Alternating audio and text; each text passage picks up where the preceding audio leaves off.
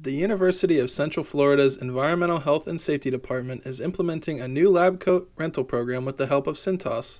The program allows you to use your UCF ID card to check out a lab coat from a dispensing machine, and then return it in a drop off machine when you're done with it.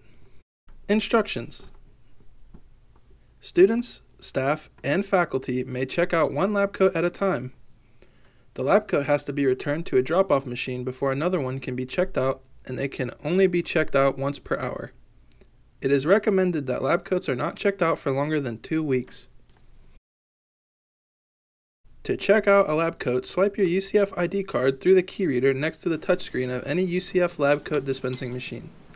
Click the lab coats option on the top left. Pick your lab coat size between extra small, small, medium, large, extra large, or double XL.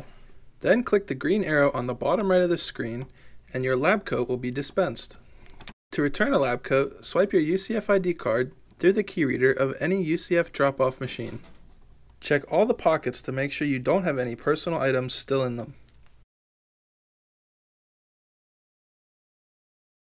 Place the lab coat in either of the two compartments inside the open hatch. Make sure the lab coat is completely inside and then close up the hatch.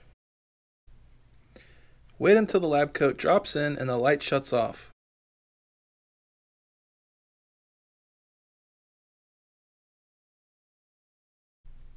Locations